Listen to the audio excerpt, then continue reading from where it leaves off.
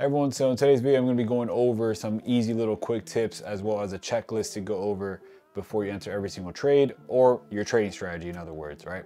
So in this trading strategy is going to be a very cookie cutter, simple trading strategy that most people do start off with and usually work with everybody, no matter what your trading strategy is right now or what your level of knowledge is when it comes to trading. This is going to be very simple and it's something you guys could apply or maybe take a little, you know, take two or three things off that checklist and apply it to your own checklist.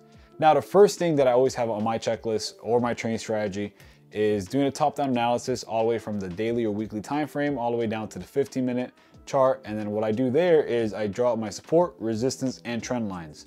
Now, after I draw up my support, resistance, and trend lines, what I do next is see whether I'm gonna be going for a buy or a sell. And it's super simple to do that. All I do is, well, the trend is my friend. So I try to make sure that my trade is going aligned with the trend. Unless I'm taking a counter trend trade, but I'll get more into that into another video. But the basic thought process of going with the trend is you know where the general direction of price is going. That way you overall can't be too wrong on your bias. So if it's an uptrend, you'll be looking for buys. If it's a downtrend, you'll be looking for sells. Now, the third thing that I would like to add on to that is you do want a little bit of fundamental analysis into your trade bias, just for the fact that you don't want to be into a US 30 trade or a gold trade or a GJ trade and then have some news come out to where out of nowhere, instead of the trade going into your favor, there are some news catalysts that comes out and it actually, you know, skyrockets the trade in the opposite direction. You have no idea why that happened. Usually what happens with a lot of new traders, they're not aware of Forex Factory or other news outlets that they could actually check or keep up with in order to check for these economical data. So it's very important as a trader to be well-rounded to the point where you don't have too many other factors that can affect your trade, whether it's, you know, going for a buy or sell, or even just having the background knowledge of saying, hey, you know what, maybe I should sit this trade out just for a little longer because I do have NFP or I have Jerome Powell speaking or FOMC. All these are economical events or data points that will be coming out during the months or weeks to come by. And it's just very important for you as a trader to be informed of all these things. GJ and all the other pairs have a bunch of different economical data points and events that do come out and are important to keep up with. Now, another thing that I do like to keep up with, or at least add into a basic trading strategy, is make sure that your entries are very optimal. These two little things I have added on the checklist that I will share with you guys and pop it up on the screen here or on the computer when I actually go back in there and dive into what a support resistance trend line looks like as well as what a reasonable trade to take, which we're going to do that shortly. So the fourth thing on the checklist for very simple things are is your price going to be between your support resistance area or between a trend line?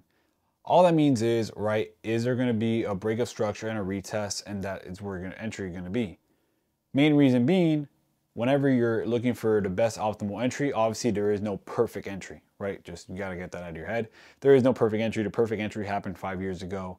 And obviously we can't predict the future if we did. Like let's say if you had the the prospect of what the next two years are going to look like, then obviously you'll get in now because you obviously know what's going to what's to come. But basically, all that means by getting in a support or resistance level is right. Let's say you're within two ranges. Let's say you want to get in for a buy. Obviously, you want to get in when price is cheaper. If you're going to go in for a buy because you're long in the position.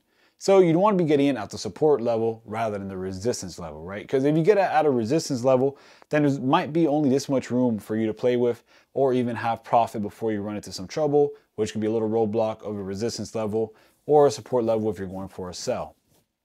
Now, what I mean by going in for a trade of a break of structure and retest is basically, right, I'll do it on the computer so you guys can have a better idea of it, but it's between two ranges, right? Let's say if you're going for a buy, it does break structure, so break out of the resistance area, and then it'll just come back down to retest the resistance area and make that a new support area. And then that's when you'd want to get in and be optimal to the point where you could capture the whole entire move rather than getting in at least optimal or getting in right where there might be a fake out, right? Because fake outs are also a thing that you want to be careful for whenever you are trading because this does get a lot of new traders and you end up going the wrong direction rather than in the right direction with the trade.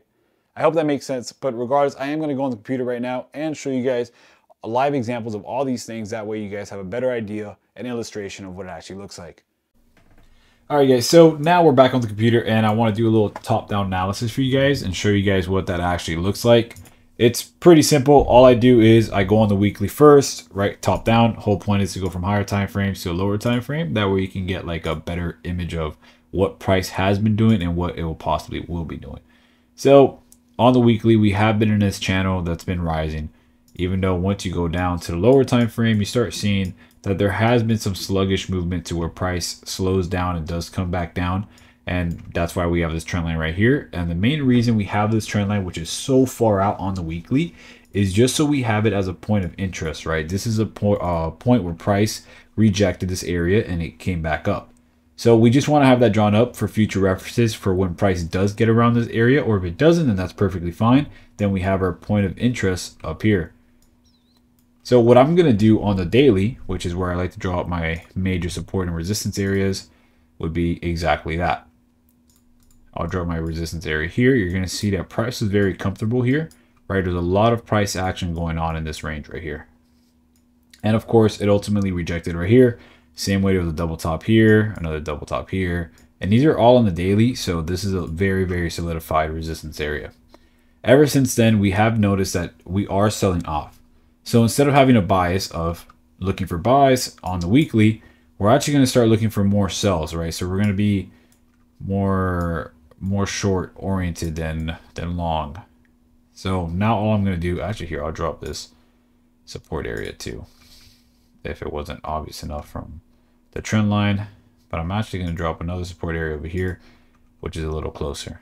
We'll drop red for, I mean green for support. And we'll do red for resistance. Now coming down to the four hour, we can see all that short, uh, all that shorting pressure and in reality where we got this rejection up here and started coming back down. So now that we know that oh, obviously the overall trend on the weekly was uh, had did have a buy bias, we are actually seeing that there is a shift between the four hour and the 10 and the one day that there's there's major shorting going on in the market. And basically all that means is that there's a lot more sellers than buyers at the moment. So we're actually going to switch our bias to sells, right? Because that's what price is doing. And there's a lot of price uh, movement towards the downside rather than the upside. With that said, now we want to draw, uh, draw a range between the four hour and the one hour. All I mean by that is another support and resistance area. So that's going to be a resistance area actually. Move that to red. And the only reason that's a resistance area is because, right, this was once a support area that became a resistance area once price rejected the area and did not want to no uh, did not no longer want to go back up there. Now, what we're also going to do is since price has been selling off, ultimately we do want to see where price is going to come down to or maybe slow down to where we could possibly look for an entry right? This is another area right here where it could be a support area. And the only reason support area, as you can see right here, there's a lot of body formation right here in candle wicks that have been rejected here that became a support area. So price found a little floor right here and then started moving back up, right? From the sell-off, bounce, keep going up. So ultimately, that's where we see price going down right here for US 30 currently. Of course, this is December 19th. So you do have Christmas weekend coming up. Low volume in the market overall. But just for a reference for you guys to have what a top-down analysis is. We started at the weekly, went down to the daily, went down to the four hour. Now we're actually going to go down to the one hour and see what we see there. On the one hour, exactly that. We are out of session right now. It is 10:36 p.m. So there's not much going on in the market right now. Probably won't really see any big movement till tomorrow morning. Now, in the one hour, what you could actually tell is that price has found like a little support area right here. So what I like to do once I see that is like, okay, well, was there a support area previously and any later price action? Which there was. You can see that price consolidated right here. And I'll draw, I'll draw a little box for you guys to get a little representation of that, right? So price consolidated right here. And you can even bring this back to where price consolidated here. And you can keep bringing it back. And that's not a coincidence. That's just price action was comfortable there or found support there or resistance. So ultimately now Let's actually go to the four hours so you can see it a little better. We'll drag this all the way over here. And now we see that we have a new um, point of interest for price to actually come down to. Ultimately, what we will be seeing is, let's say, if let's move this out of the way. Let's say we do see price come all the way down here. Let's draw, let's move the support area up over here since that was the most recent. Right. that was resistance, support. Beautiful. So to give you guys an example of breakup structure or retest is going to be, this is what we're going to want price to do, but obviously if it doesn't do it, then that's perfectly fine. We, you know, here we like to react to the market rather than predict the market. So ultimately, let's say if the price does continue to, to fall below this area, what you'd want to see in order to get in, right? Because you would not want to be getting in right here because you do realize this is an established support area. So you don't want to get in right here because you have the chance of price doing this. No, that's not, that's not it. You have the chance of price doing this, right? And then that that's not good. You don't want you don't want to get in right here where it's going to be just a, a, very sloppy position to where you're going to be in drawdown the majority of it. Even though you might be in profit for a little bit, the overall picture isn't the this overall isn't a good entry. Now, an example of a better entry is going to be a break of structure and retest. So now let's say price does break out of this structure, breaks past that, uh, that support area. Now what you want to see to get in is you want to see it retest that support area to where it became a resistance area. And the reason you want to do that is because instead of for example, let's use a little tool right here where we have short position. Let's say we get in right here. You have to realize that you're already at a support area, right? So let's say if you wanted to bring this down to another support area, which would be down here, would be a one to four overall. You don't really have much room. You don't really have that much leg room if you really want to get a one to four here, which would be a great trade, honestly. But the problem is that, right, price can do exactly what I had said, where you know it comes down here, continue support, um, respecting the support area, and then bounce back up, right? Because then that would be another retest, right? You'll end up retesting this resistance area up here. And the main reason we want to use the horizontal lines are basically just to have a, a view of where price could be going. So now we're now we have now we narrow the actual range down to a closer price action that we could actually depict whether we want to get in or not currently. Currently, right now, right now is not the best time to get in.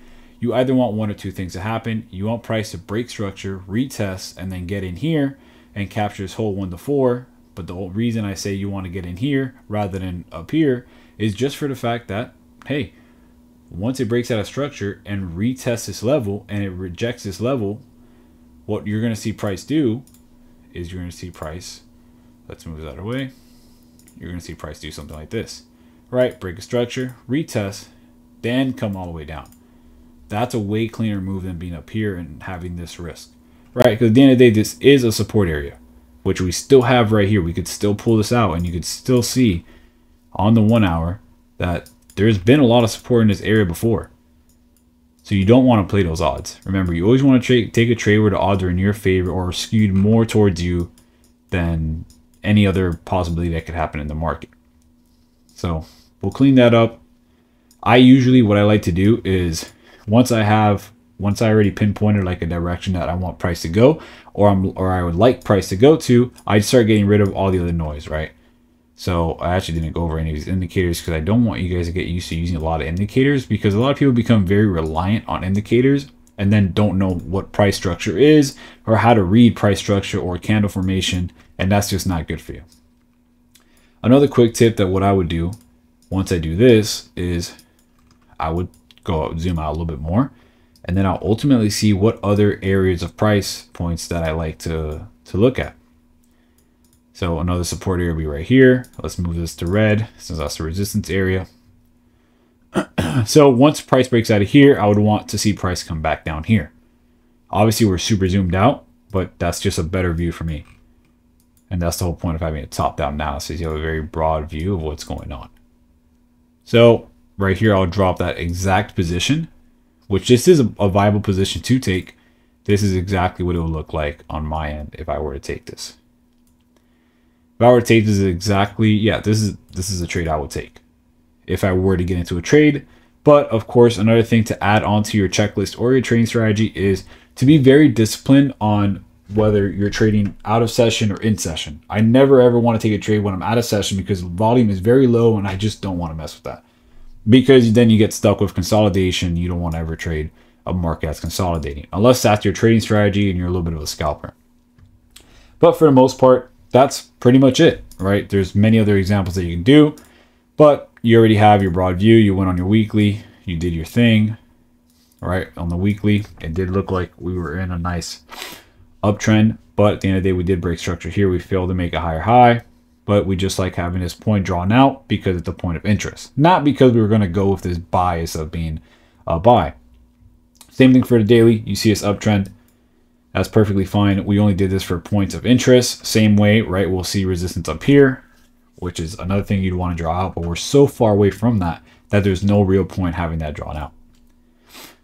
At the end of the day, you try you kind of want to keep your chart very clean and very simple. The more minimalistic, the better, just because there's less noise and less things to stress yourself out over, especially when you're first starting to trade. And these little rectangle tools help out a lot. What I also used to do to help me out in the beginning, just to have an idea of where price would be, is let me remove all these drawings. Is I would grab a little rectangle. Here, where is it? Right here. So what I'll do is I'll grab a little rectangle and I'll actually grab from the opening of the day before and I'll actually move. I actually like to do two days. That way I know where price has been in the past, you know, two days. Now, with that said, once you come down to the four hour time frame, now you know this little box right here is about two to three days worth of data right here. So you know where price has been the last two to three days. And that's that's amazing, right? Because let's say if the market is consolidating, then you know your perfect range. You have your resistance and support area right here, perfectly drawn out for you without having to go through the hassle of doing the top-down analysis, or in case you just wanted to have this cleared out for a better view. Overall, I hope you guys enjoyed the video. I am going to do some more in-depth videos of TAs as well as another strategy that you guys could use with indicators. But overall, I'd rather have you guys learn how to, you know, create structure, not create structure, but pinpoint structure and use structure toward your advantage rather than use indicators and rely on all that stuff that are not really needed. I do have strategies with indicators that I tend to use, but for the most part, I ignore them because it's not really needed. You don't need indicators or a million different indicators. There's no magical indicator that's going to make you a successful trader. This is going to be for all your fundamental analysis. All that means is you want to take an analysis on economical data or news events that might be affecting your pairs. I'll leave the link for Forex Factory on the description of the video so you guys can check out. But basically, this is a great tool for every trader to have. Obviously, today it's a little late, but there wasn't any news events going on for, for USD or Euro that I usually trade. So let's look at tomorrow, for example. Tomorrow we have uh, a JPY, tentative news, BOJ press conference, nothing for USD again. You do have Euro, German PPI, not a big deal. But here, if you guys do want more details on the, the actual news, you just click on it and it's actually going to tell you what it measures, right? Change in price of goods sold by manufacturers. And it will even tell you the usual effect, right? Actual greater than forecast is good for currency. So usually right here, you're going to see the actual forecast and previous. That way you guys have this data to go off of to know how to read the actual data that comes in. Now, with this said, you have actual greater than forecast, right? So in November, you had your actual, which was negative 4.2%, and the forecast was 0.9%. So this was bad. Obviously, it's displayed in red for that reason. So all that means is that we underperformed. Well, not we, but you're underperformed on that aspect. And this is very important to know whenever you're trading these pairs because sometimes you have crazy volatility that might even happen. So actually, here, I'm going to show you guys a quick little example. Uh, pretty sure GJ, right? So look, GJ, right? Let's go, let's look over here. Okay, I don't know why that happened, but that's tomorrow. Today, you had JPY, right? At 10:01 p.m. It's 10:53. This is a reason why Forex Factory and your fundamental analysis is so important. Monetary uh, policy statement. So because of that, you had this massive drop right here. It's about a 400 pip drop, which is absolutely insane. But let's say if you were going in for a, a buy bias right here and you wanted to go for a long, this would have ruined your position completely. It would have blown straight through your stop loss and the account would have ended up in a pretty bad drawdown situation. But since you are a very savvy and responsible trader, I'm sure that you would have checked your Forex Factory and seen that this news event was tentative and was coming out at 10 o'clock. So you would have been worried about that. And this is just literally a perfect example of why you got to be careful. Now, with that said, you could always use this towards your advantage, right? You, let's say if you didn't want to look, if you were looking for a short here, then you would have entered super quick off of that news. I don't ever recommend trading news events just because the spread on the actual brokerages gets so crazy that it actually affects you big time. So usually you'll end up having double, triple, or even four to five times more drawdown because of the spread that the actual broker is offering because of the massive volume that happens at that time. Anyways, that concludes the video. I'm 100% sure I went over everything I needed to go over. Like I said, I am going to be leaving a link to Forex Factory down below so you guys can check it out and have access to all this information. It is free. You don't even need to make an account. As you can tell, I'm not even logged in just because there's no point. I don't, there's no need for an account for this. And you could even, you know, go months ahead as well, right? Let's say you wanted to go check the New Year's and how January's going to look. You can do that. Anyways, hope you guys enjoyed the video. And now for sure, I'm signing out and good luck, guys.